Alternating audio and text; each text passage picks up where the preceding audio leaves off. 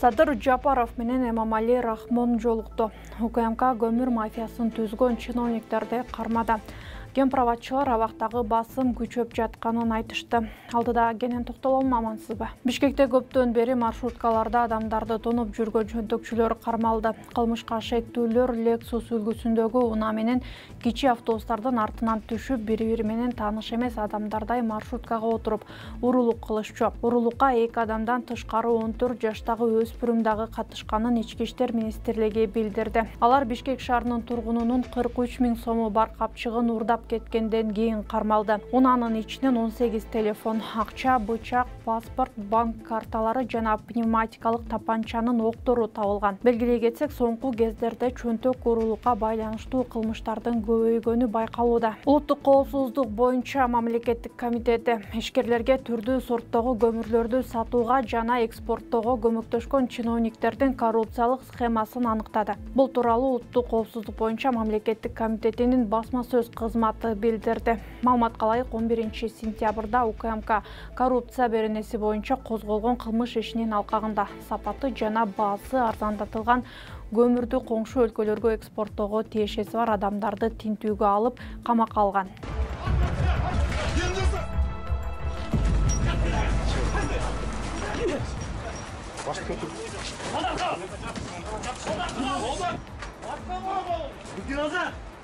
자, 땡이. 맞아, 맞아. 자, 저기 나간다.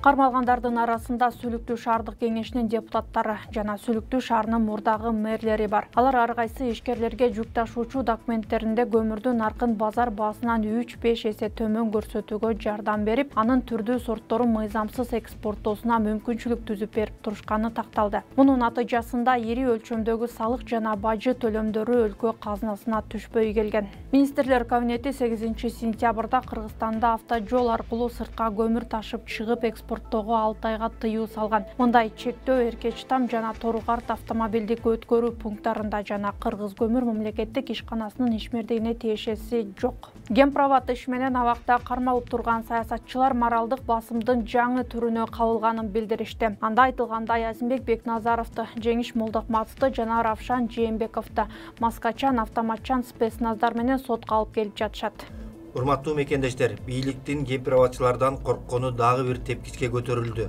Буга чейин басым кысым кыйноолорду колдонуп келсе эми бөлүп жарып бузукулук жасоого өтүштү он төртүнчү сентябрда көрүнүктүү саясатчылар бекназаровду молдокматовду жээнбековду маскачан автоматчан спецназ менен сотко алып келишти. Автоматчан спецназ бизге кылмыш иши менен таанышуу маалында моралдык психологиялык басым жасоого аракет кылды. Муну менен бизди сындыра да коркута да алышпайт. Бул аракеттерди биз бийликтин айласы кетип жасап жаткан агониясы деп билебиз. Мыйзамсыз камактагы он төртүнчү сентябрь биринчи май соту. Кемпирабадчылар буга чейин абактагы кармоо шартына нааразы экенин айтышып мындай басым камчыбек ташиевдин буйругу менен болуп жатканын билдиришкен. Муну кыйноолорду алдын алуу борбору дагы тастыктап абактагылар жер төлөөдө кыйналып жатканын билдирген. Аталган билдирүүлөргө укмкнын төрагасы жооп берип түрмө бул жазалоочу жай экенин эскерткен болчу. Түрмө түрмө түрмө ошон үчүн курулган. Мыйзам бузгандарды мамлекеттегендерди ордуна алып келип тарбиялаш үчүн курулган ош шаарында отуз биринчи августта гана ачылган жөө адамдар өтүүчү өтмөктө чоң жарака пайда болду. Бул тууралуу видеону социалдык тармактын колдонуучулары таратууда. Видеодон байкалгандай жарака көпүрө менен лифттин жанынан пайда болгон. Аталган курулушка кырк беш миллион сомдон ашык каражат жумшалган. Бул боюнча мамлекеттик экспертиза департаментинин түштүк бөлүмүнүн конструктору чубак капаров маалымат берип жараканы авариялык кырдаал деп атоого болбой турганын айтты. Азыр ушул э, технадзор эксперт ошол түштүк боюнча курулуштардын эксперти мына бул жерде турат түшүндүрмө бере кетсеңиз ушул жер боюнча бул жер кандай болуп ачык турат кандай болуш керек долбоордо кандай эми биз э, объектти текшербейбиз биз долбоорду текшеребиз долбоор боюнча бул заранее конструктивный схема боюнча коюлуп кеткен. Деформациянын ошол обязательно болуш керек.